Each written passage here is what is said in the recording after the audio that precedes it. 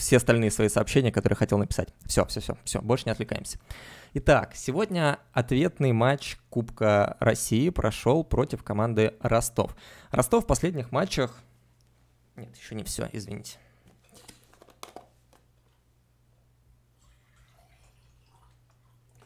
Жарковат стало последнее время.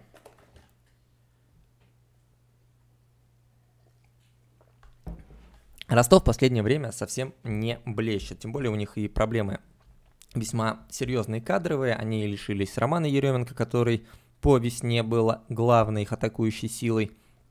И ряда других футболистов, которые сегодня не выходили, это Паршевлюк, Мевля, Шмуродов в запасе сидел. И, в общем-то, тот Ростов, который был по осени, команда супер мало пропускающая, команда здорово умеющая пользоваться слабостями соперника.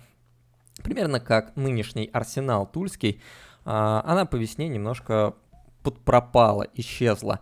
И не мудрено, да, что мы столько раз уже встречались с Ростовом в этом сезоне. Это была четвертая игра, и во всех четырех матчах Локомотив забивал не меньше двух мячей. Это довольно много. Ростов, напомню, действительно долгое время шел вообще лидером по количеству пропущенных мячей. У них там что-то около 6, 7, 10 было, в то время как у нас в этот момент уже было 17-20. А, за этот матч, наверное, было не очень боязно. Единственная проблема в том, что первый матч закончился со счетом 2-2, и э, ехать в Ростов, имея необходимость забивать, это все-таки всегда представляет опасность. В любом случае команда может за- закрыться, наиграть на свои 0-0 и поехать дальше. А Локомотив все-таки не та команда пока еще, надеюсь, что пока еще не та команда, которая на раз вскрывает эшелонированные оборонительные редуты и способна на заказ забивать мяч, а то и два, да, то есть каждый гол Ростова вынуждает нас забивать больше, больше, больше. А, в матче с Рубином Семин опробовал тактику с тремя центральными защитниками, одним ярко выраженным центральным полузащитником, и дальше был что-то вроде квадрата э, в матче с, соответственно, э, Рубином. Это был Смолов, Миранчук, еще один Миранчук и Жамалединов. В этот раз Жамалединов отправился на левый край, а, соответственно, квадратом были два Миранчука, Смолов и Эдер. А, так вот неожиданно, очень неожиданно на матч, в котором Локомотиву нужно было забивать, Семин выпускает двух нападающих, ярко выраженных, и Смолов, и Эдер. Это все-таки в первую очередь нападающие, а затем уже кто-то там еще, да, если... Спасибо еще раз за фоллоу, все, кто фолловится. Если мы говорим про матч с Рубином, там был Смолов и Миранчук Алексей, который играл даже выше периодически, чем Смолов, но все-таки Леша это полузащитник, и все свои э, яркие матчи, все свои яркие действия он в основном делает именно с позиции атакующего полузащитника. Эдер и Смолов это уже именно что гренадеры внутри штрафной площади, Эдер потолкаться, Смолов сыграть на опережение и пробить, и вот все такое. Такого мы, пожалуй, еще не видели в этом сезоне. Это довольно круто, что в матче, в котором нам надо было забивать, Семин не побоялся выпустить именно такой состав.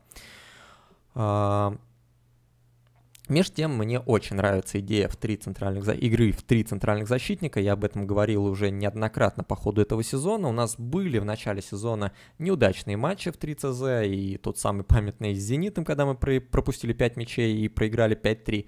Но, тем не менее, я действительно считаю, что, имея Кверквелию, Чурлуку и Хёведеса, мы игрой в три центральных защитника очень сильно облегчаем себе самим задачу и по обороне, и по атаке, потому что таким образом мы освобождаем э, того же Влада Игнатьева, того же э, Маца и Рыбуси или сегодня Рифата Жемалединова от значительной части оборонительной работы, и они могут гораздо активнее подключаться вперед, что создает дополнительную ширину атаки.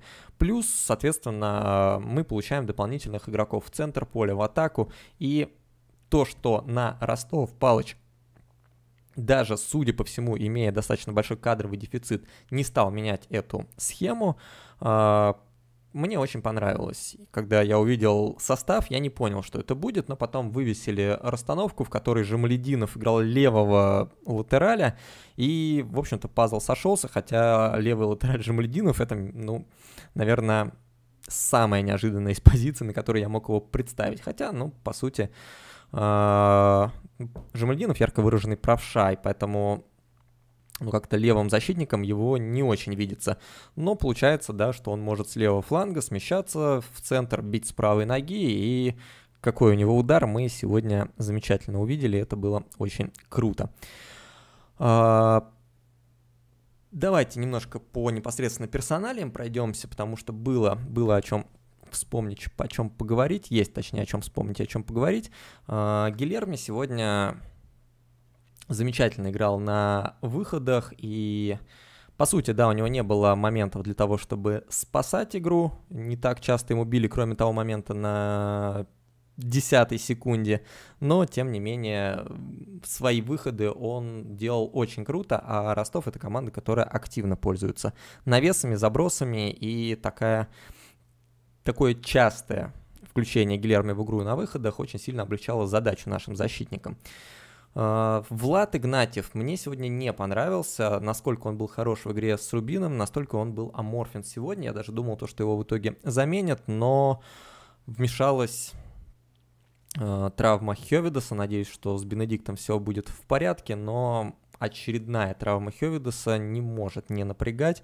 Каждый раз его приходится заменять по причине травмы. Это уже, по-моему, третья такая вот вынужденная замена Хёвидеса по ходу одной только весны. Его меняли с Краснодаром, но там ему по башке досталось там все-таки немножко другой момент. И вот два раза, два последних матча меняли Хёвидеса по причине вот каких-то вот недомоганий, не мог он весь матч до конца сыграть. Это очень неприятный момент. Сегодня он просто сел на землю, если, по-моему, с Рубином он все-таки дохромал самостоятельно и ушел с поля самостоятельно, то сегодня его ну, просто уже не мог продолжать матч еще где-то за 10 минут до конца. Это плохой признак, и все-таки, несмотря на то, что мне очень нравится, как играет Бенедикт Хевидес, э, вот это вот стеклянность, которая, которая его окрестили еще до прихода к нам, она начинает проявлять себя, и это неприятный тревожный момент. Все-таки терять замену каждый раз на замене защитника – это не самая приятная вещь. Чурлука с Кверквели сегодня сыграли хороший, весьма добротный матч. Кверквели в очередной раз много блокировал ударов, хорошо играл на втором этаже. Чурлука был выдвинутым центральным защитником при игре в три центральных защитника и с одним центральным полузащитником Крыховиком.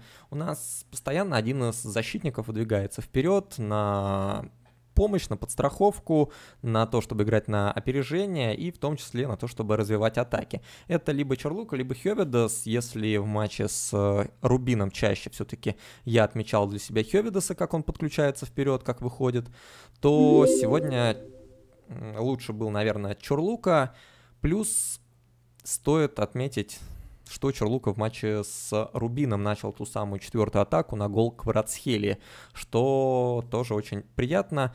А, были косячные матчи у Черлуки по началу весны, но вот в схеме с тремя центральными защитниками, я не знаю, Ведран чувствует себя просто как рыба в воде, и он как в обороне прекрасен, несколько шикарнейших отборов сделал, так и в атаке начинает их, э, пресекает атаки соперника, разворачивая тем самым атаку в сторону других ворот. И это просто образцовая игра, такой Ведран, наверное, нам нужен. И э, не так страшно, что он еще год покушает у нас 4 миллиона зарплатного фонда. А, также стоит отметить Крыховика, который второй матч подряд выдает на очень хорошем уровне. Есть определенная боязнь. Гжегош не все матчи проводил хорошо и по осени, и по весне. И одним центральным полузащитником Крыховика мне казалось, что ну, это как-то боязно его выставлять, что, ладно, Рубин, там не очень хорошо все в, централь... в центре полузащиты, но уж Ростов-то должен его серьезно покусать и поймать на том, что он где-то что-то не успеет. Но нет, э, на мой взгляд, Крыховик сегодня и в матче с Рубином это один из лучших футболистов, везде абсолютно успевал, и в атаке, и в обороне, и подстраховка на флангах частенько, э, можно было видеть, как он Рифата страхует, и в целом, ну, просто ни, одно, ни одной серьезной претензии, кроме, наверное, момента где-то в концовке, уже при счете 2-0, когда он принял мяч у своей штрафной и зачем-то пошел вперед в лучших традициях Мануэла Фернандеша и просто потерял мяч. Но что его, наверное, отличает от Ману, тут же вцепился в игрока, которому отдал мяч, и сфалил, не дал атаку провести. Так что в итоге все равно ничего опасного не произошло. Крыховик большущий молочинка. Появились новости о том, что его выкупили за 12,5 миллионов и дали контракт на 2 года. Это, наверное, хорошие для нас новости. Крыховик, вот такой вот Крыховик, как сегодня, как в прошлые выходные, нам очень сильно нужен. И, соответственно, а, должен нам серьезно помочь в Еврокубках, которые мы себе уже обеспечили. Думал я, что, возможно, будет преградой его большая личка. Это 6 миллионов евро, которые он получал в ПСЖ, но, судя по всему, договорились. А недолгий контракт — это, соответственно, отголосок того самого долгого контракта Чорлуки, по которому он 4 года получал порядка 4 миллионов евро. Теперь я думаю, что Локомотив немножко экономит и длительные дорогие контракты заключать не стремится. Ну а если Крыховику понравится в Москве, если мы будем бороться за высокие места, через 2 года переподписать 29-летнего Крыховика, наверное, не составит большой трудности. Едем дальше. Не сказал я про Рифата Жамалединова, который на левом фланге в очень неудобной для себя позиции, именно в плане обороны. Отбирать, когда ты правша, отбирать мячи довольно сложно, потому что постоянно тебе его под дальнюю ногу, под неудобную для тебя суют, тебе нужно левой ногой отбирать, и это, ну, всегда неудобно, неприятно, очень часто с этим возникают какие-то проблемы, но Рифат в целом справился, конечно, не без косяков в оборонительной части, проходили его периодически, и гол, который на первой секунде пришел, тоже отчасти из-за непонимания Рифата, как нужно позиционно играть. Но дальше разбегался, дальше начал очень качественно играть в пас, ну и, собственно, решающий победный гол, который вывел нас в финал Кубка. Это какая-то неимоверная красотища от э, Рифата. Подработал под правую ногу и прекраснейшим ударом по парашютной траектории, когда мяч падает сверху вниз от перекладины. Э, таким голом можно любоваться, любоваться. Я немножко э, бомбил в последнее время о том, что мы не забиваем дальними ударами. То есть удары из-за пределов штрафной площади – это для нас, ну, не знаю, однопроцентная вероятность того, что э, мяч залетит в итоге в ворота. То есть со штрафных, да, на мы еще по стоячему мячу кое-как умеем бить. И Антон, и Алексей Миранчук забивали. Но вот просто дальние удары, ну, вообще не летят. И Ману перестал забивать, и... А, два наших Мирончука перестали забивать именно дальними ударами. В общем, было грустно, но Рифат взял и в нужный момент показал то, что все в порядке у него с ударом, и, ну, надо почаще бить. Рифат просто неимоверный прогресс за эту весну, за это межсезонье. Каким он к нам приходил из Рубина, потухшим, такой большая бочка, которую пытались наиграть центральным нападающим, коим он никоим образом не является, практически без скорости. И тот рефат, который мы видим сейчас, который носится как электричка, помогает впереди, помогает сзади, и такие вот удары исполняет, это просто два разных человека, и рефат большущая, большущая умничка. Э, по Мирончукам сегодня особо нечего сказать. Антон отдал голевую передачу на Федора Смолова, но там в той ситуации Федор Федя сделал все самостоятельно. Миранчуку нужно было только не испортить. Антону Антон не испортил, хотя частенько порол по ходу этого матча и более в, прос... в более простых ситуациях. Но здесь все сделал грамотно, все сделал здорово, помог Феде забить 99-й гол. Алексей тоже не сказать, что провел какой-то хороший или плохой матч. А, Алексей делал то, что он обычно привык делать. Таскал мячи, принимал их между линиями, отдавал пытался развивать атаки. Сегодня у него э, несколько возможностей было внутри штрафной площади, но не получалось сделать прострельную нормальную передачу. К сожалению, в этом плане Алексей, ну, мне кажется, Алексей начало своей карьеры был более опасен. Помним мы замечательные голы, которые он забивал. Сейчас что-то как-то вот, э, не знаю, то ли боится, то ли еще что. Но но просто в нужных ситуациях он перестает бить поворотом, предпочитает отдать передачи, а передача это не всегда лучшее продолжение атаки. Далее, далее. А, собственно, дуэт форвардов, которые сегодня старались играть как дуэт. Кстати, это тоже нужно отметить. А, если Смолов искал пространство, искал возможность куда-то где-то открыться, рвануть, Эдерс искал мяч, и в этом он очень сильно преуспел в первом тайме, я думаю, что один из лучших игроков первого тайма, за все цеплялся, все скидывал, а в условиях, когда на поле идет настоящая рубка, а, это очень важно, очень полезно, мы тем самым позволили в первом тайме не прижимать нас сильно к воротам, это довольно хорошо, потому что я думаю, что Ростов хотел задавить нас в первом тайме, но мы могли выходить в атаку. Во втором тайме Эдер потерялся, немножко, видимо, Ростов перестроил свою игру, стали по-другому именно с Эдером играть, да и мы уже, э, как обычно, получив приемлемый для нас результат, немножко ушли в оборону, стали больше играть на контратаках. Это не совсем игра для Эдера. Зато во втором тайме окончательно раскрылся Федор Смолов. Э, если в первом тайме у него не совсем получалась игра в подыгрыш, он был активен, он включен был в игру на хорошем уровне, но при этом в достаточно простых ситуациях он не мог отдать правильную, точную передачу. Вот как, не знаю, Антон вложил ему в ногу, вот то же самое сам Смолов делать не мог. У него были очень-очень неплохие возможности. Там и Рифата, я помню, мог в штрафную забросить своим пасом. И а, когда он развернулся в центре поля, можно было разворачивать, вести атаку 3 в 3, и Смолов просто отдал передачу сопернику. Ну, в общем, такие помарочки были у Феди, зато во втором тайме раскрылся на все 100, забил гол, который сам фактически для себя выиграл очень хороший гол, и второй мяч был нам очень важен, потому что при счете 1-1 проходит дальше Ростов, а гол на последних минутах всегда возможен, навал какой-то, все такое.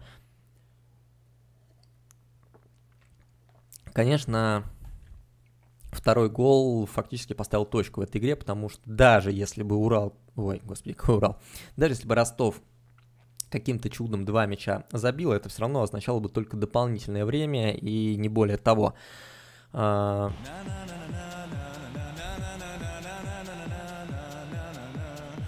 Решетка финал Кубка с талисманом.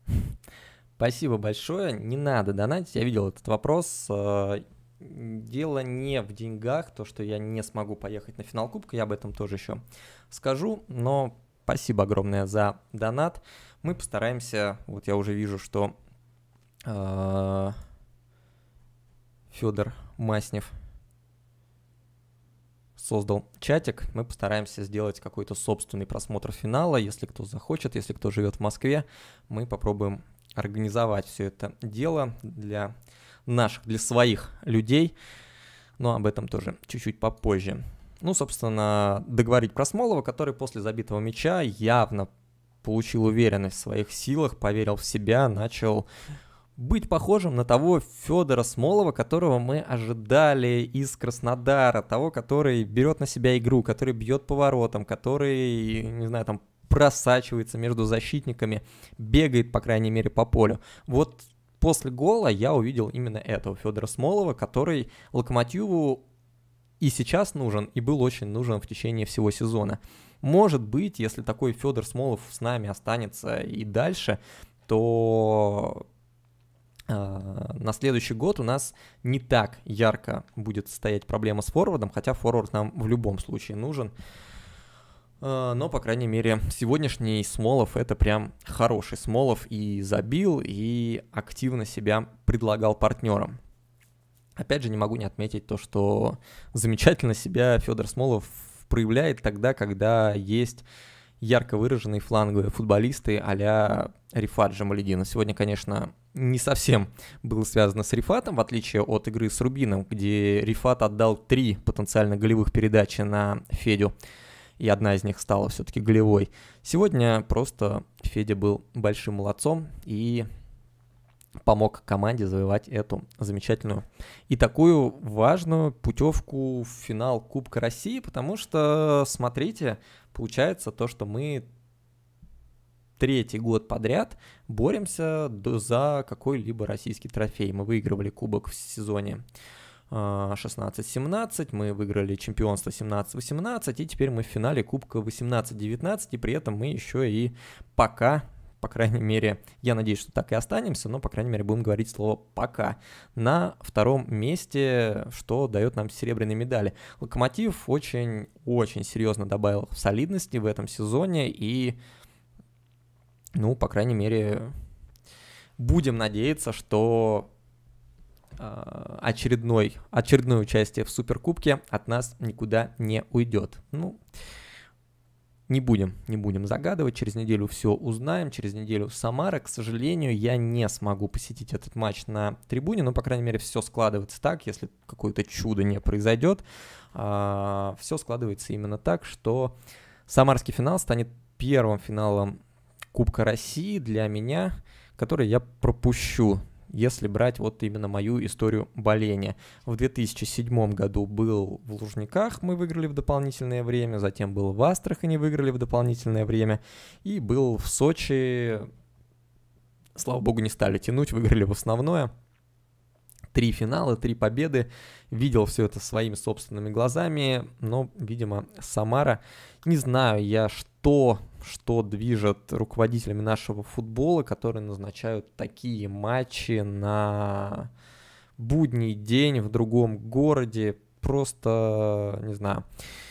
Думаю, что очень многие, многие, если на майских праздниках ты еще можешь как-то отпроситься куда-то уехать, то посреди недели, 22 мая, на несколько дней отпроситься, ну, практически невозможно, и именно с этим связано то, что я не смогу.